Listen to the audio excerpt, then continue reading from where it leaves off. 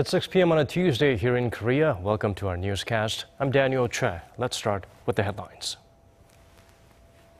In her first cabinet meeting of the year, President Geun-hye renewed her call for economic growth through reform, emphasizing the need to work for the people and the nation. The presidential office and the parliament seem to be set on a collision course after engaging in a war of words over how a package of economy reviving bills should be handled. Despite early concerns following the stock market rout in China on Monday, China's benchmark index appears to be stabilizing. Even so, officials in Korea vowed to monitor any fluctuations in the global market and the possible repercussions for Korea. At the nation's top office, President Park Geun-hye laid out a roadmap for this year's policies at her first cabinet meeting of the year. In addition to calling on the parliament to work for the people, she stressed the need to root out corruption in order for the economy to make a leap forward. Song Ji-sun has our top story. As she entered her fourth year in office, President Park Geun-hye renewed her call for economic growth through reform, saying she and her administration will do all they can for the people and the nation for the remainder of her term. The president asked the cabinet members to work to improve the livelihoods of the public. She asked for the same efforts from the National Assembly which has yet to vote on a package of economy related bills, including the one on labor reform that she has actively promoted.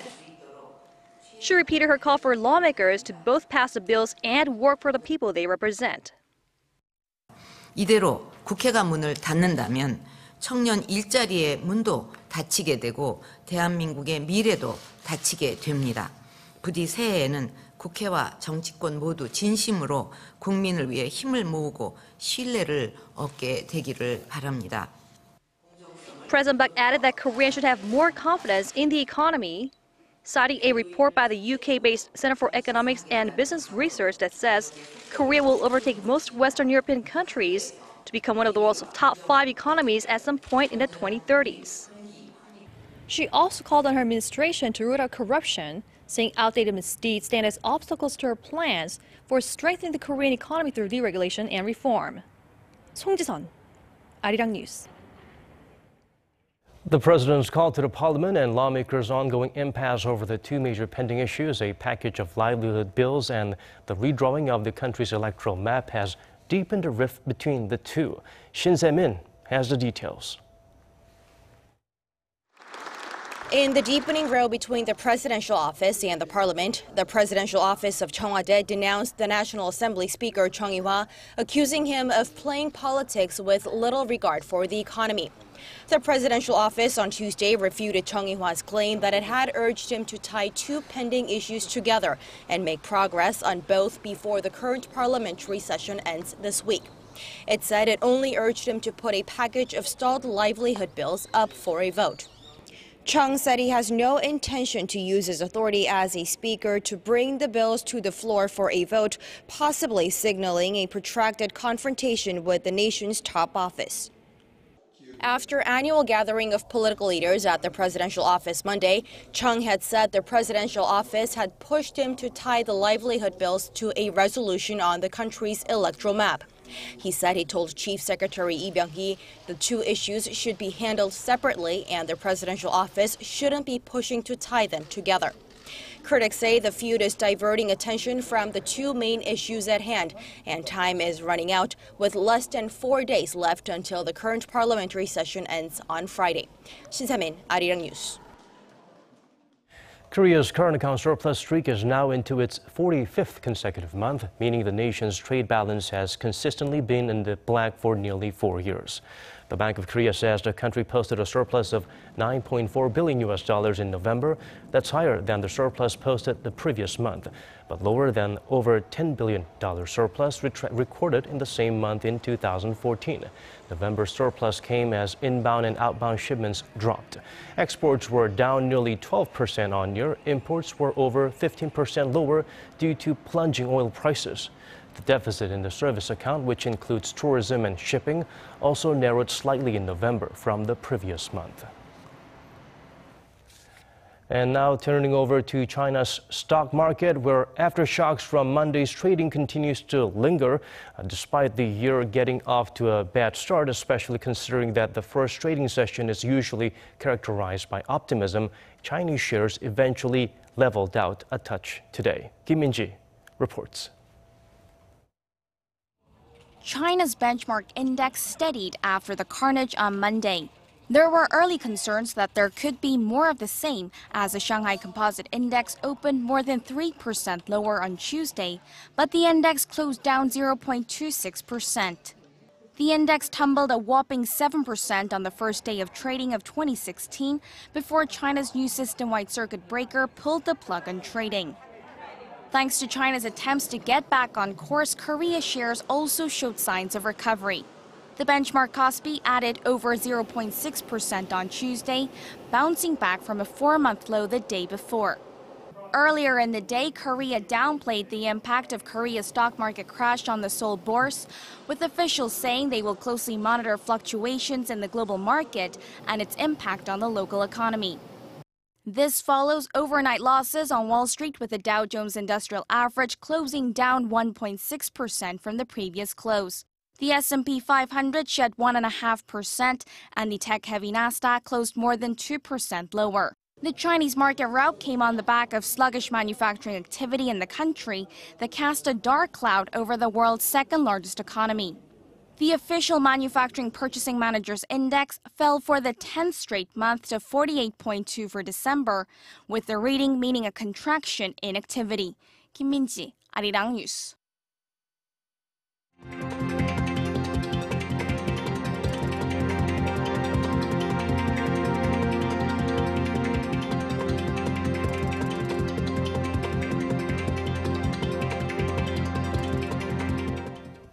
The impact from Monday seems to be fading in world markets gradually, but there are still concerns about the stability of the world's second largest economy. Recent data imply that the road ahead may not be so smooth. For details, we turn to Soo-eun. China started showing signs of stability on Tuesday after sending shockwaves around the world when markets there crashed on Monday. But there are still a number of concerning risk factors for the country going forward. First is sluggish growth. A Bloomberg survey of economists show a median growth projection of 6.5% for China, well below its 7% target. On top of that, China's Manufacturing Purchasing Managers Index, or PMI, has been below the healthy level of 50 for 10 straight months, an implication that external demand for manufactured Chinese goods is on the decline. The slowdown in the Chinese economy comes from various structural elements that are a result of its transition from an investment dependent economy to a consumption centered one. Unless there are big changes in the domestic or foreign markets, growth in China will continue to slow. Next is the possibility of a continued drop in the value of the Chinese yuan. On Monday, markets closed with the yuan at nearly 6.52 against the greenback, the lowest on record since May 2011. Until now, the Chinese government has defended its currency devaluation by injecting foreign reserves into the market. But if foreign investors choose to pull capital out of China triggered by a low yuan, this may no longer be possible. The Chinese market has gradually opened up in recent years with the launch of Shanghai Hong Kong Stock Connect in 2014 and the yuan's inclusion in the IMF's currency basket last year. With plans to further open its markets this year, including the Shenzhen Index and the MSCI Emerging Markets Index, increased volatility is expected. With corporate reformation on the Chinese government's agenda and the real estate market concerned about a double dip triggered by rising government debt and unstable banks, the Chinese economy has a rocky road ahead. Lee Soo-eun, Arirang News. Salary for 2016 for government officials has been unveiled. President Park Geun-hye will earn around 175,000 US dollars this year, up roughly 6,000 from a year ago. The annual salary of Korea's prime minister is set at $140,000. That's also $4,500 more than 2015. The wages for ministers stand at around 100,000. The annual income for officials were decided during a cabinet meeting today. There, the government also raised wages for soldiers by 15% this year. China, for the first time, is using North Korea's Najin harbor to ship food and supplies to its southern regions. Many experts say the port's location makes it ideal for future development as a maritime hub. And if Beijing has its way, it could become an important connecting point for President Xi's 21st century maritime Silk Road. Kim Hyun-bin has this report. Chinese ships have been taking advantage of a new sea route using North Korea's Najin harbor, and apparently the arrangement is working out. Xinhua News Agency reported Tuesday that an estimated 600 tons worth of Chinese food and lumber was ported in Najin last year, en route to Shanghai. Xinhua emphasized that Najin opens up a third major food supply route for Beijing, adding to its combination of pre-existing road, rail, and sea routes. In 2015, China's total food production reached over 620 million tons, with roughly 24% of those products coming from three northeast Chinese cities, including Jilin and Liaoning. They account for a huge portion, considering there are only five cities in northeast China that are capable of exporting food supplies. Beijing began using the North Korean port after signing an agreement with Pyongyang in late 2000 for the right to use Najin and Chongjin harbors for up to 50 years. Initially, it used Najin to mainly export coal, but starting last year began to support shipments of other goods. Experts say as Chinese President Xi Jinping continues to push his One Belt, One Road initiative to develop a modern-day maritime Silk Road, Beijing will only ramp up its use of Najin. China is eagerly searching for a new trade route in the East Sea that is able to connect to the European market. Najin has grown to become one of North Korea's biggest international ports, and with this prime location in the northeast of the country, Many believe the city has the potential to develop into a Eurasia marine transport hub in the near future. Kim Hyun-bin, Arirang News. Controversies continues to swirl around the landmark agreement between Seoul and Tokyo to resolve the sensitive issue of Japan's wartime sexual enslavement of Korean women. And aside from the actual term of the deal and the lack of involvement from surviving victims, criticism is flaring over an alleged move to relocate a statue that symbolizes the plight of the so-called comfort women. Kim Ji-yeon files us this report. Installed in 2011, the statue of a young girl in Korean dress symbolizes the many victims of sexual enslavement at the hands of Japanese troops before and during war, also known as so-called comfort women. The memorial statue has sit outside the Japanese embassy in Seoul for more than five years now and serves as a constant reminder of Tokyo's unresolved wartime atrocities. Replicas have been erected in different cities around the world as the international community has become increasingly aware of history surrounding the issue. So it's no surprise the Japanese government is eager to get rid of or relocate the statue from plain sight. Tokyo has faced rising criticism for its lukewarm attitude in acknowledging its dark past. But despite its efforts, weekly protests demanding for Tokyo's sincere apology and legal responsibility for the atrocities have been held outside the Japanese embassy for 25 straight years. During the warm seasons, supporters often lay flowers around the statue while others wrap scarves around it during the winter months. And every day, visitors are discovering more significance in the statue, including a shadow that's cast on the statue shows the shape of an elderly woman holding a butterfly to her chest. Some people on social networking sites say the silhouette signifies the many wishes that victims find peace despite their painful experiences and memories. Tokyo has repeatedly claimed that it agreed with Seoul to work towards relocating the statue when it negotiated an agreement on the sex slavery issue in late December. Seoul strongly refused Tokyo's claim, saying it never agreed to move the statue and that the move would raise questions about Japan's sincerity in settling the comfort women issue. Around 200,000 women, mainly for Korea and China, were forced to serve as sex slaves for Japanese troops during World War II. Kim Ji-yeon, Arirang News. Elsewhere around the world, Saudi Arabia's allies in the region have joined the kingdom in severing diplomatic ties with Iran as the repercussions ripple out over Riyadh's execution of a leading Shia cleric.